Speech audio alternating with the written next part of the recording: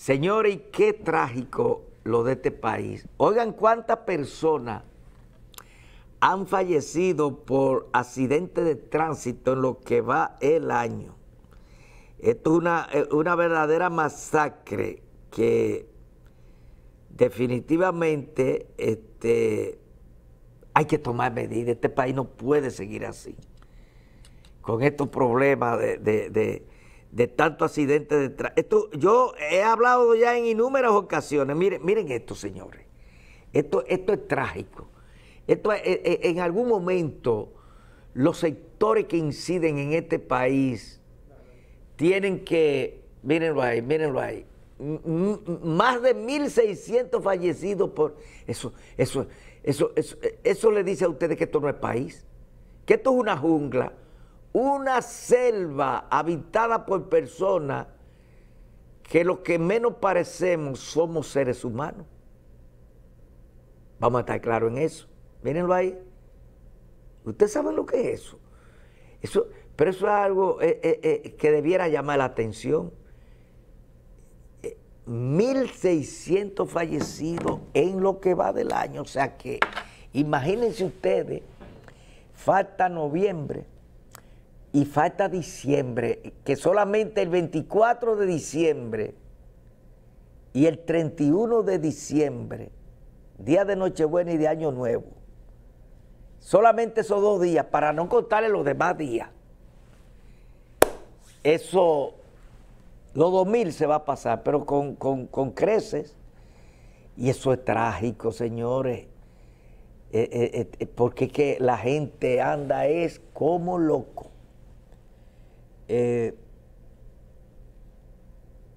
Cuántas personas útiles que pueden ser personas de utilidad en la sociedad se pierden con unos eh, eh, eh, espectaculares accidentes que uno se pone la mano en la cabeza.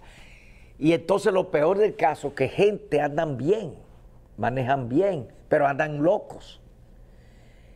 Tú no puedes pensar solamente en que tú andas bien.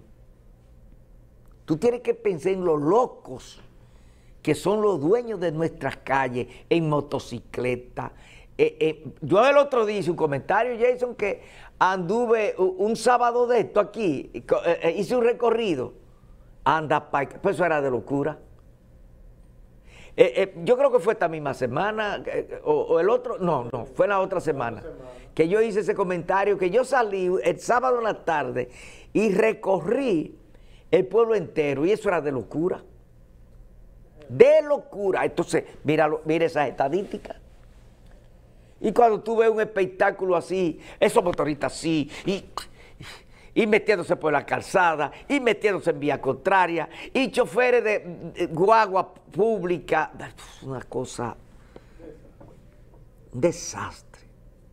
Y no hay quien le ponga coto a eso, no hay medida, no hay nada. Y se han planteado mil eh, programas, mil soluciones, pero a la hora de no ninguna de las salidas y de la respuesta a esas eh, problemáticas han dado resultados. El problema cada día se agrava más. Falta de educación vial, falta de régimen de consecuencia. Oye, una cosa, eh, estas calles son un peligro y una amenaza andarla. En cualquiera de estos pueblos, señores, incluyendo los campos, pero en los campos andan la gente como loco. Eh, eh, esto, esto, esto, esto es para usted ponerse la mano en la cabeza, señores. Qué barbaridad. ¿Hasta cuándo van a estar esperando una solución que sea viable, que sea eh, efectiva sobre el problema del tránsito en este país. Las carreteras, las carreteras son un infierno. Andar en, una carretera de este país, en una calle, en cualquiera de las ciudades, es, es infernal por la locura que se cometen. En todo tipo de vehículos. En todo tipo de vehículos. Una irresponsabilidad, una falta de, educación y, y de modales realmente espectacular. No parecemos seres humanos, señores. El extranjero que ve eso va a decir, no, por ahí lo que viven es salvaje. Ahí lo que viven es salvaje, porque no se concibe que gente civilizada en pleno siglo XXI, en pleno siglo XXI, se presenten estas situaciones. Porque lo que más se parece una situación como esa es de habitante primitivo. habitante primitivo. Y vuelvo y repito, usted puede andar bien, como hay cantidad de personas que manejan bien, que manejan con prudencia, que respetan, pero coño, hay uno loco que eso, eso, eso, eso no respetan absolutamente a nadie ni a nada, ni le temen a nadie, pero tampoco hay régimen de consecuencia con esa gente. Tampoco se le aplica la ley. Y vaya usted a ver. Eso lo hacen ellos aquí, pero cuando van a otro país civilizado, cuando van a un país civilizado de verdad, no a esta caricatura de país, ellos no actúan así. Es aquí que ellos actúan así. Buenas noches. Buenas. Buenas noches, Martín. Bien, un placer. Estoy muy bien. Lo que pasa es lo siguiente. no es Caramba, como que se oye mal. Ubícate en mejor sitio, como que no se escucha bien. Ve a, ver si te coloque en mejor sitio. Ah, Ahora sí se oye mejor. Adelante. Tú sabes qué es lo que pasa, Omar. Que esa DGC no está haciendo su trabajo. Por ejemplo, cuando yo voy por la mañana, a las 6 de la mañana, seis y media de la mañana, ahí en la, en la, en el puente de la parada de Nagua, por ahí, que, sí, va a Nagua. Sí. Ahí se meten esos choferes como quiera. Los que van de la Fray Grullón para allá, que van de la, de la parada Nagua para allá, y los que vienen de allá para acá en la puente Duarte. Entonces no aparece nadie, actuaciones, eso es un desorden con el, sí. con el asunto de los déjame decirte, eh, ahora que tú dices... Déjame terminar la idea. Ok. En la José Reyes, José Reyes, entre medio de Bono, Libertad, ahí hay un, una sola vía. Pero eso es un desorden, y he visto a la sé que ha ido tres veces a poner multa, pero no ha vuelto más nunca. Entonces, ¿qué es lo que hay que hacer? Pienso yo. Lo que hay que hacer es lo siguiente, esa gente comenzar a poner multa porque eso es un desorden. Eso es un desorden, ahí no se puede caminar, ahí no se puede transitar. Eso, eso cuando, yo no sé qué raro que ahí en la Fran Guillón por ahí no ha habido, con Fuente Duarte, no ha habido un accidente feo, feo, feo, feo. Y en esa, en esa José Reyes con libertad, y, eh, con libertad tampoco, porque por ahí no se baja, y ellos bajan como la onda del diablo por ahí. Entonces yo no sé qué es lo que está pasando con la DGC. Ellos no están haciendo su trabajo. Es el problema, que aquí hay autoridades que son ineficientes, ineficientes. No es asunto de régimen, es poner multa. Ya, ya se no Pero eso es parte de eso, es parte del régimen de consecuencias, es poner la multa y el apresarlo. Eso es un desorden que estamos viviendo. Ahí yo me pongo, yo tengo una favorita por ahí, y yo me pongo a ver a la gente doblando como la onda del diablo por ahí. Y yo hasta me pongo incómodo, digo, pero bueno, eso es lo que está pasando. Igual en la Frangullón ahí con Puente Duarte. Eso es la eh, pena. Eso es así. Gracias, hermano. Mira, yo el otro día, cuando hice ese recorrido que yo dije, casualmente me pasó una de las guaguas que viajan a Nagua o a Villarriba, porque son guaguas de doble cabina. Y, me pasó en una forma que los que andaban conmigo se quedaron perplejos. Porque eh, eh, ellos, es una imprudencia, una imprudencia, esos son temerarios. Lo que él dice es una realidad, yo no sé, porque fue por esta zona, fue por esta zona de Telenor. Sé que entre Telenor y la Bienvenido fue este Duarte, como él dice. No, no, eso es una imprudencia. Esos tipos, ellos, oye, yo no sé, pero, pero, pero esto, esto está mal. Y, es verdad que la DGC eh, eh, eh, en algunos momentos que tiene que estar en los sitios, no está. Y, y la DGC debiera ser recorrido por la ciudad, porque hay mucha gente que se parquean malísimo también. Ahí tú sabes, oye, pero esta es otra cosa, otra, otra tragedia que vive este pueblo y el país, diría yo. ¿Tú sabes lo que hacen gente? Coño, porque es que este, e, este país es una, una, desgracia. Ellos te cogen la acera y, y, y, montan un vehículo en la acera que es del peatón y tú tienes que coger la calle. Aquí hay gente que se parquean arriba de, de una acera. Entonces tapan la acera y el, peatón no puede transitar. Buenas noches, por acá. Buenas, Omar. Sí. Yo te pago lo que tú quieras si te encuentro una mera libertad.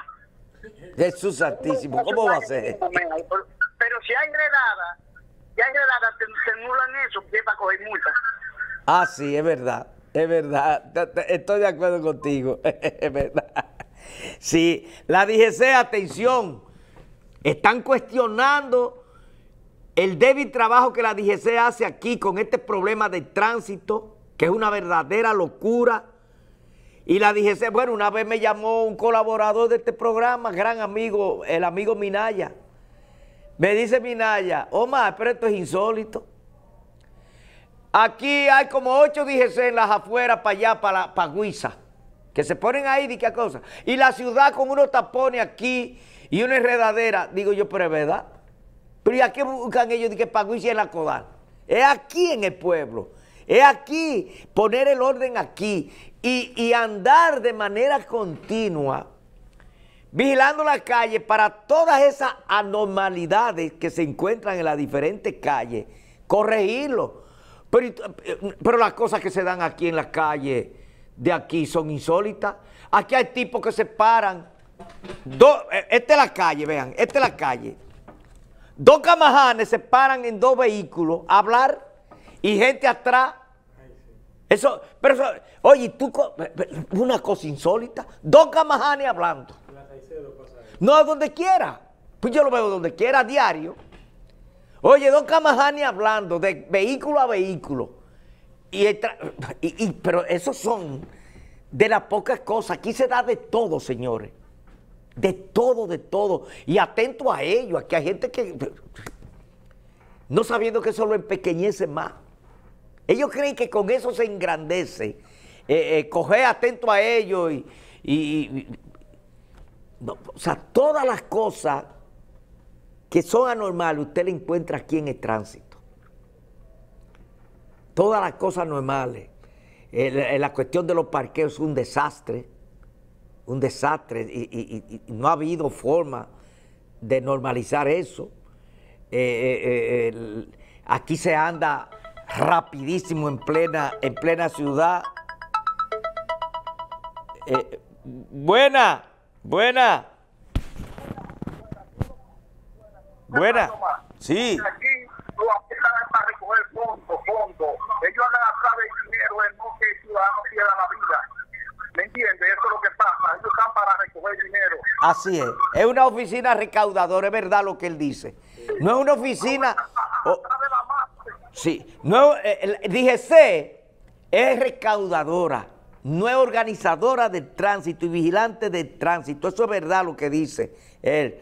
Buena, tenemos otra llamada por aquí, buena. Adelante. Sí. Oh, Arenoso, ¿cómo está? Bien. ¿cómo está? Bien, bien, bien. ¿cómo está? Bien, bien, bien. Oye, Omar, nada más no la DGC, no, que hay que echarle la culpa, no, a esos jefes de sindicato también. Tú sabes que todos esos transportes tienen un control. Sí, sí, sí. Y de aquí, de aquí de Arenoso, que estamos a 60 y Ah, bueno, déjame decirte, la, la guagua de Arenoso fluyen mucho aquí, ¿es verdad? Sí. Oye, adiós, Omar, pero oye, oye, ¿cuánto? Ah, oye, hay choferes de esos verdugos que dan cinco viajes. ¿Cómo va a ser? ¿Cinco viajes y vuelta de, de, arenoso? sí, cinco, cinco, cinco viajes y cuatro viajes diarios. No, pero es volando. Sí, sí, ¿Tienen que andar volando? Oye, tú. Ah, ya. Ah, imagínate, cinco viajes, sí, sí, eso es así. ¿Y cómo si te- quieres, investígalo ahí en la parada. Arenoso, ¿Cuánto déjame preguntarte, ¿cómo te pasaje? ¿Cuánto cuesta el pasaje de aquí a Arenoso, de, de Arenoso aquí? No, 200 pesos. ¿Cuánto? Ujú.